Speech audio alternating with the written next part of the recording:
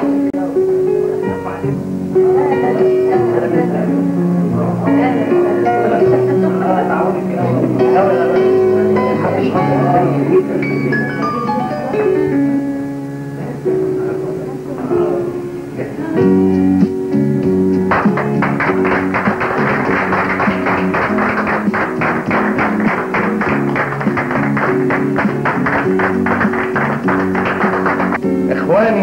رجال الأعمال المحترمين.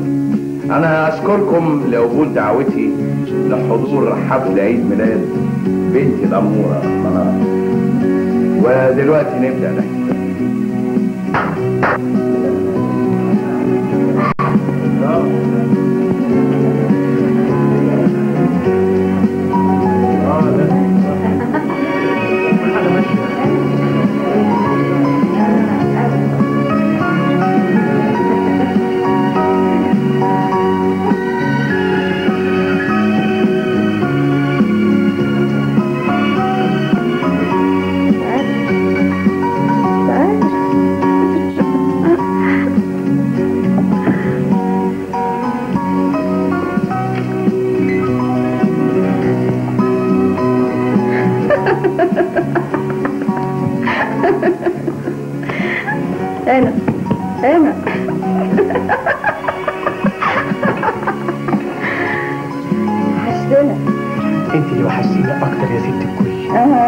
هو باين موضوع ست الصغيره طلب اللي طلبوا منك بابي.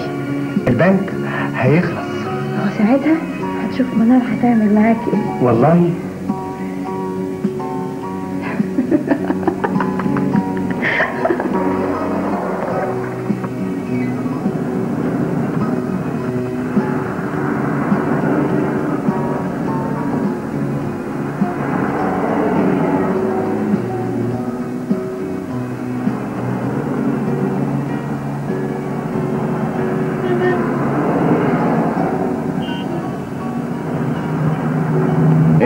وعملت لي في أرض المعادي؟ خلاص يا بسام بيه اليوفة اتكتبت وكل شيء تمام. أنا عايز أخلص من الموضوع ده بسرعة. عشان كمان أخلص لك موضوع منار. أنا منتظر على النار. اعتبر الطبخة استوت. اتفضل.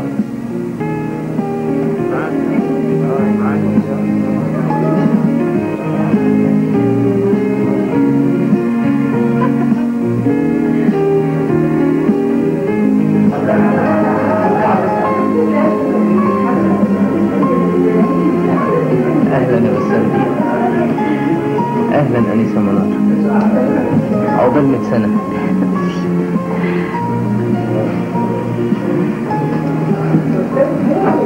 بقول لك إيه؟ سبع ولا ضبع لا سبع طبعا. صحتك. بس دقيقة واحدة. أشوف الانسه منار وأرجع لك تاني. براحتك يا حبيبي. ميرسي يا عمي. عملت هنا كده لا لا تحت إيه الجمال ده كله؟ لا ده انت تصدقي تصدقي ونص. حتى تعالي نسأل الناس. يا مجنون. تعالى مش عايزين حد يشوف. آه، انت عملت إيه في الموضوع بتاع بابي؟ كله تمام. أنا خلصت كل حاجة يا منار. بس الدور عليك انت بقى. طب اقعد جنبي بقى. إبراهيم أنا أنا عمري ما هنسى الوقفه اللي قلتها مع بابي. في الوقت اللي كل أصحابه سابوه مع إني خير عليهم كلهم. اخصى عليك يا منار. هو إحنا مش هنبقى أهل. إحنا أكتر من أهل. يا حبيبي. أنتوا قاعدين هنا يا طايط وأنا بدور عليكم. عمي. يا خايب أهلا يا عمي. ما قلتليش عملت لي إيه؟ لا كله تمام يا عمي. كله تمام الحمد لله؟ وجبت لك الشنطة. طب أنا هروق لك الجو وأطلع لك فوق. روق براحتك يا عمي.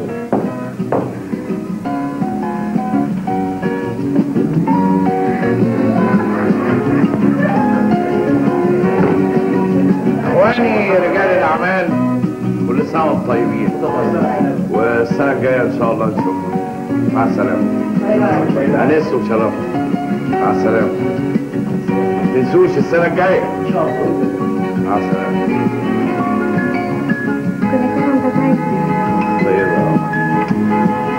bye bye هم بقى السنة الجاية انت بكرة لا مش هنسى bye bye.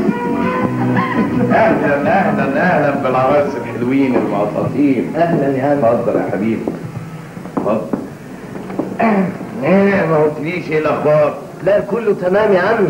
الفلوس في العربية. العربية؟ أيوة. حد يا راجل يحط 6 مليون في العربية؟ لا دول آه، شو قلت لك يا بابي إبراهيم ابن حلال وطيب وينفذ اللي أقول له عليه. ميرسي قوي يا هو ابن حلال بعقل ده جدع كمان. وبعدين دي مش غريبة عليه ده هيبقى جوز بنتي. أهلا يا حبيبي. بس من فضلك يا عمي أرجوك يعني ترد المبلغ بسرعة علشان أنت عارف إن ممكن في أي وقت آه، إيه ده يا ابني؟ انت بتشك فيا يا إبراهيم؟ خلاص خلي فلوسك في العربية ويا رب تتسرق. إيه الكلام اللي انت بتقوله ده يا بابي؟ انت ناسي ان إبراهيم هيبقى جوزي؟ يا ريت يا عمي. هو, هو, هو أنا طول انك تبقى حماية. تقولش كده يا إبراهيم ده انت زي ابني بالظبط. عشان كده أنا صارحتك بالأزمة المالية اللي إحنا فيها. ربنا يخليك لي يا عمي. آه، آه، بس انت انت هنكتب الكتاب كده ونعلي الجواب ونلم الشمس؟ آه يا سيد يبقى بقى أنت تقصد كتب الكتاب مش حكاية البنك. إيه رأيكم؟ نسهر سهرة حلوة المناسبه السعيدة دي. زي ما تشوف يلا بينا. اتفضل. اتفضل يا عمي زي ما تشوف يا عمي اتفضل يا حبيبي. اتفضل. اتفضل. يلا يا قط.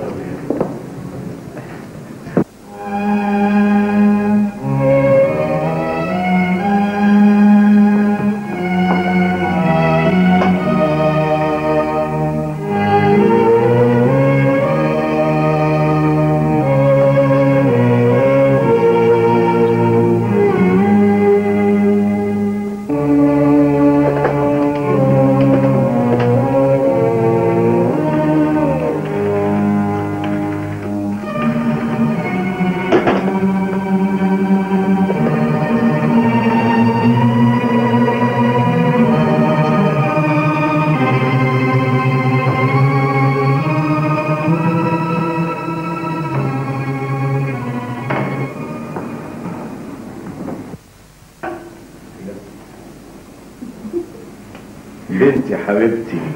إيه الحلاوة دي؟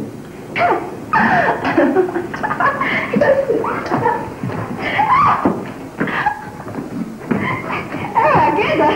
يا راجل يا عجوز بلاش شقاوة. أموت في الشارع بس بقى خلينا في الأهم. إيه هو؟ هنعمل إيه بعد كده؟ زي كل مرة. هي دي أول مرة نلعب اللعبة دي. من بكرة الصبح هنركب أول طيارة ونروح على أي بلد.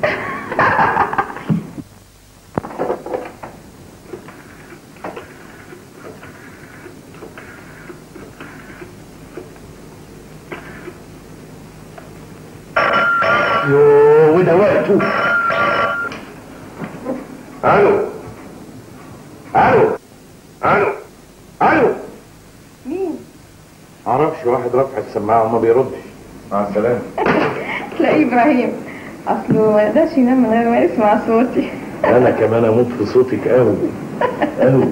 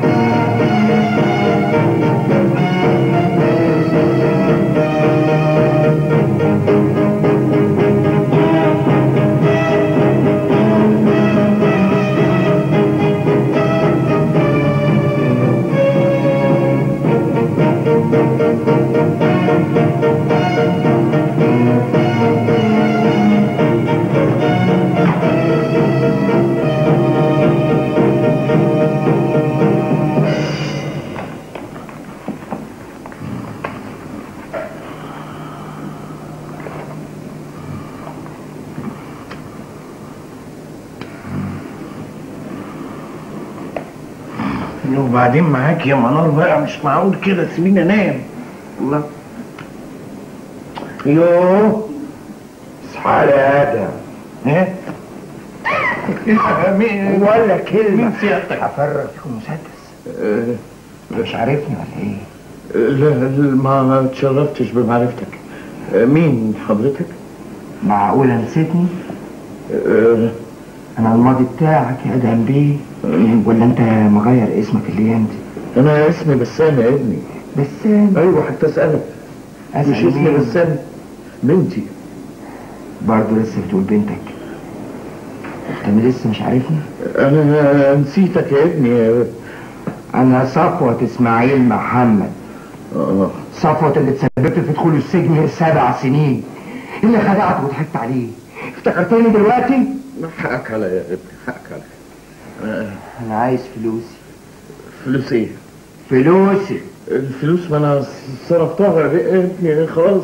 أنا مش قصدي على الفلوس بتاعتي. أمال على إيه؟ أنا قصدي على الفلوس اللي واخدها من الأستاذ إبراهيم دلوقتي اللي دخل بالشنطة وخرج من غيرها اللي بيحب الهانم اللي فاكرها بنتك. إبراهيم؟ يا ترى اسمك إيه النهارده؟ آه، ابني. فين الفلوس؟ نفس العنوان يا ابني أنا في فلوس إيه بس؟ قوم هات الفلوس قوم هات الفلوس آه، طب ثانية واحدة هجيبها لك. هي في الدولاب. أوعى تعمل حاجة كده ولا كده؟ لا أنا هجيبها لك. أصل في درج مسحور في الدولاب. قومي.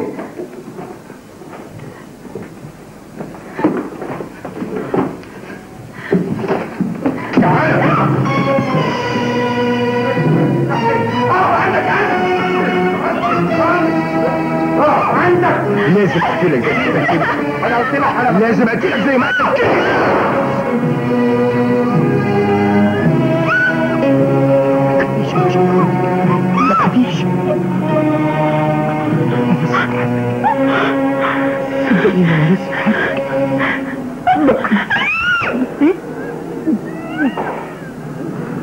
ما لكن لازم اقتلك أيوه لازم اقتلك ليه ضحكتي عليا؟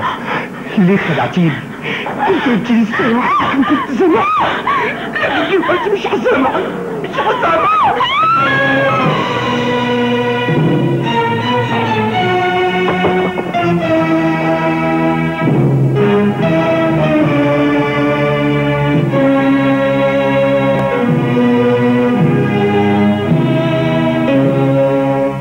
انت هتشتغل هنا؟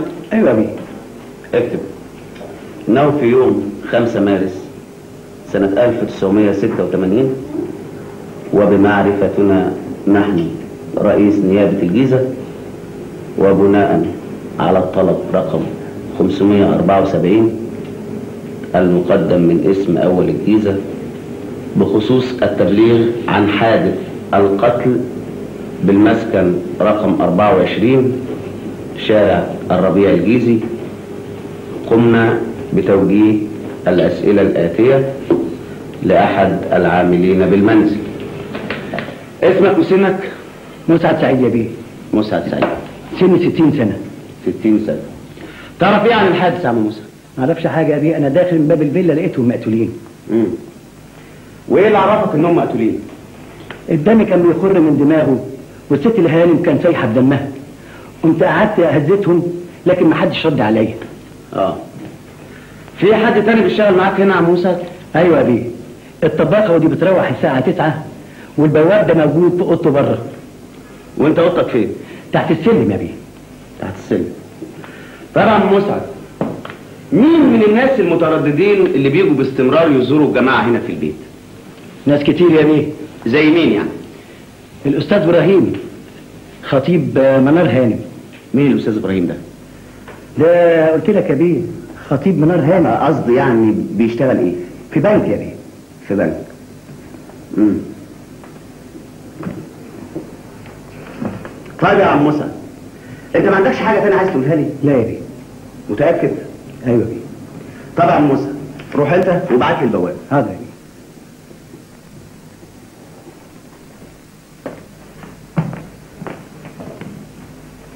ها إيه أخبار المعين واضح إن المجرم على صلة بالقتيل. آه. قصدك إن القاتل كان على معرفة جيدة بالقتيل الظاهر كده فندم. اكتب. بعد إجراء المعاينة اللازمة قررنا استدعاء بواب العمارة لتوجيه بعض الأسئلة.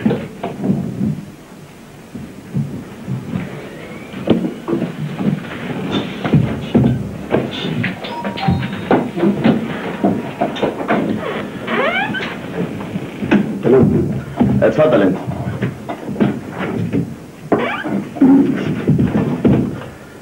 اسمك إيه؟ عبد الموجود جودة تشتغل إيه؟ بواب عندك كم سنة؟ ما خبرش يا بيه حوالي 55 سنة انت بقالك قد إيه بتشتغل عند بسام؟ خمس شهور يا بيه تعرف عنه؟ ما خبرش يا بيه كل اللي أعرفه انه راجل بشتغل عنده ومبسوط وإيده طايلة. يعني إيه إيده طيب؟ يعني يعرف ناس كتير قوي يا بيه. آه. وأنت تعرف إيه عن الحادث؟ ما أعرفش يا بيه. كل اللي أعرفه إنه صحيت من النوم على صريخ مسعد بقول البيه والهانم ماتوا. بعد الحفلة ما شفتش أي حد غريب في جنينة؟ بصراحة يا بيه مش فاكر. أصل الدنيا ليل. وكان في ناس كتير قوي وأنا ما هشوفش بالليل يا بيه طب انت ما شفتش اي حاجة أو حسيت بأي دوشة في الجنينة بعد الحفلة ما خلصت؟ لا يا بيه بس في حاجة عاوز أقولها لسعادتك. من حوالي أسبوع جه واحد قعد جنب مني وقال لي دي فيلا أدهم بيت ديناري قلت له لا دي فيلا بسام بيه شكله إيه الراجل ده؟ تقدر توصفه؟ ما خبرش يا بيه آه عندك حاجة تانية عايز تقولها؟ لا يا بيه طيب امضي إذا كنت بتعرف بتمضي ولا أختي. ابصم يا بيه. بصم. قررنا نحن رئيس نيابة الجيزة استدعاء الشاهد الساعة الثانية عشرة ظهرا على أن تقوم النيابة باستدعاء باقي الشهود الساعة العاشرة صباحا لاستكمال التحقيق. وقد أقفل المحضر على ذلك في ساعته وتاريخه.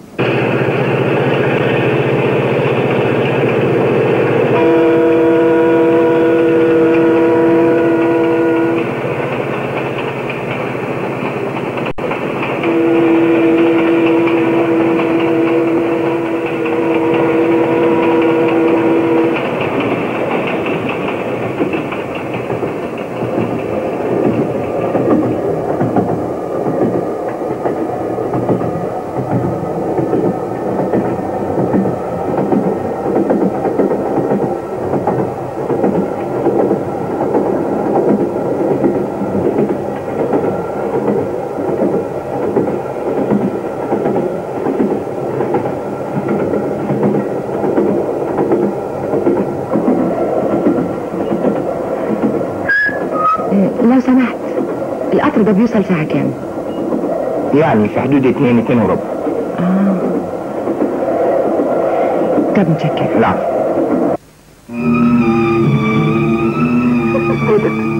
إزاي تقولي كده؟ هو أنا غريب عنكم؟ ولا أنت لسه حاسة إني غريب؟ بالعكس يا صفوت أنت عز الناس عند بابا وأنت عارف كده كويس قوي سلامتك عند بابا بس؟ وعندي أنا كمان. الناس يلا.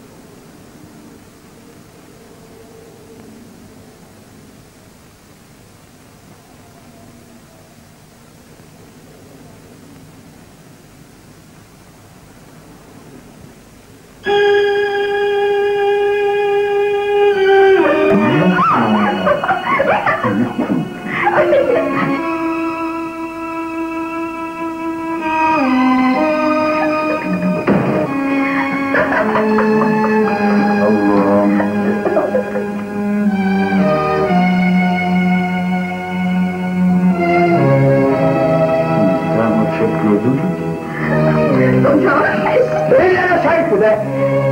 مين؟ صفت أهلا أهلا. إزيك يا حبيبي؟ أهلا وسهلا أهلا إيه؟ إيه اللي أنت عامله ده؟ أنا هقول لك على كل حاجة دلوقتي. تقول إيه؟ شفت كل حاجة. شفت وسمعت كل حاجة. أنت بس وأنا هفهمك الحقيقة. ده إيه؟ أنا تخيلت كده؟ في واحد مع بنته في السرير. لا دي مش بنتي. دي بنت واحد صاحبي. مش مصدق نفسي. أنا هفهمك كل حاجة يا صفصف. هدى دي أنا اللي مربيها وعمري ما لمستها غير النهارده. بشرفي.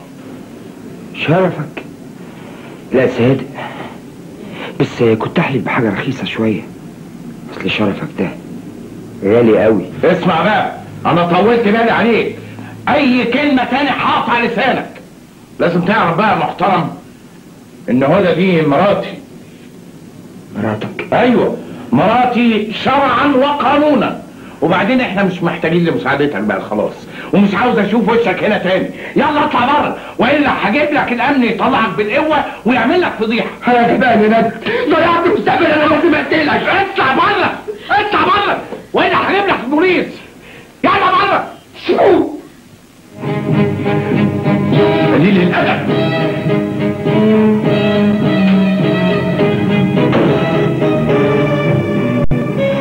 أنا خايفه هنعمل إيه؟ بقول لك إيه لم هدومك ونروح أوتيل تاني. يلا بسرعة. نروح فين؟ زمان بلغ عنا. بلغ عن مين؟ عن آدم الدناري وهدى. يبقى يقابلني لما يلاقيهم. يلا يا حبيبتي يلا. هي دي كل الحكاية أيوه فندم.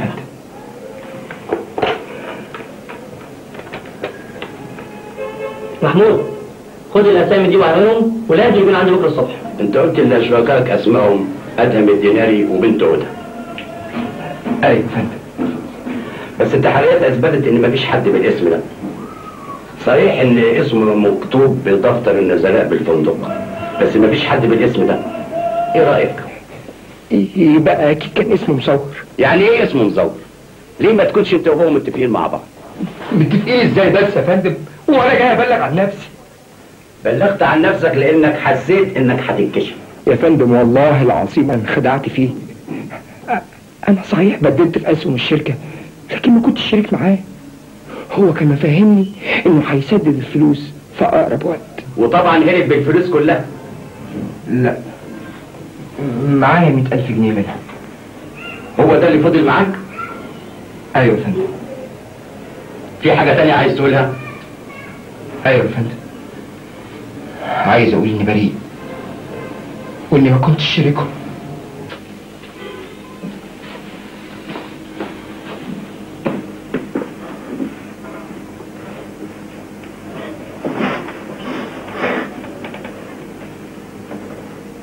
ازيك يا صفت ده جاي ليه يا حاج مش عايز حد يدافع عني صفت أنا قريت الحادثة في الجورنال وعشان كده جيت لك لازم اعرف كل حاجة يا صفت عشان أساعدك. عشان أقدر أدافع عنك. ما عنديش حاجة أقولها لك. صفت أنت موقفك حرج جدا في القضية. لازم تساعدني ممكن يحكموا عليك بخمس سنين عشرة. ساعدني على على الأقل ياخد حكم مخفف. لازم تساعدني يا صفوت لازم تساعدني أنت. لازم أعرف مكانهم أخرج لازم أقتلهم فاكرهم موجودين بيزعلوا واختفوا هربوا للحكومة نفسها ما تعرفش عنهم أي حاجة. حتى لو بعد عشر سنين.